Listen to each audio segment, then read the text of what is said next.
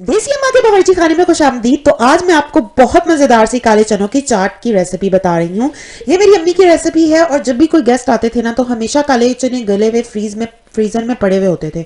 और वो ये बनाती थी। यहाँ पर मैंने फ्राइंग पैन में वन फोर्थ कप ऑयल ले लिया है और एक दरमियानी साइज़ का प्याज ले लिया था चॉप करके। वन टी मैंने इसके अंदर जीरा शामिल कर लिया। अब इस प्याज को हमने हल्का सा ब्राउन कर लेना है।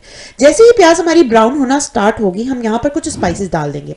जैसे एक टीस्पून नमक, एक टीस्पून लाल मिर्च हाफ़ टी स्पून मैंने इसमें हल्दी डाली है और हाफ़ टी स्पून ही मैंने कुटी हुई मिर्चें डाली हैं।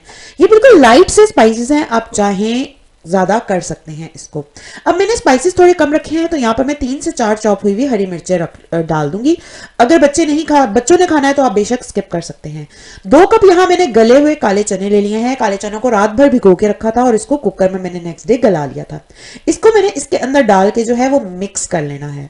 और उसके बाद हमने इसमें पानी डाल देना है, तकरीबन वन फोर्थ कप इसके अंदर पानी डाल लेना है और कुछ देर इसको पकाना है ताकि सारे मसाले जो हैं वो काले चनों के साथ भी पकें और इसके अंदर भी फ्लेवर फ्लेवर सा आ जाए। वैसे तो काले चने दो तरीके से बनते हैं। कुछ जो है वो टमाटर भी डाल, डलते हैं, कुछ में नहीं। ये बगैर टमाटरों वाली मैं रेसिपी आपको बता रही हूँ। अब देखिए, पानी जो है वो हमारा ड्राई होने वाला था तो ऊपर मैंने हरा धनिया डाल दिया है।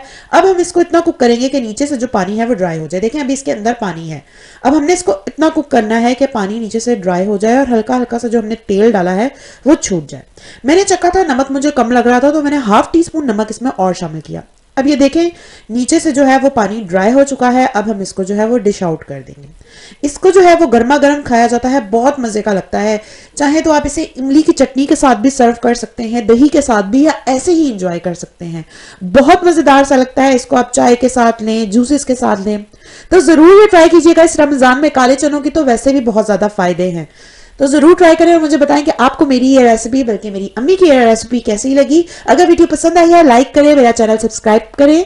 मिलती हूँ फिर एक अमेजिंग से वीडियो में। फीमान अल्लाह अल्लाह हाफिज़।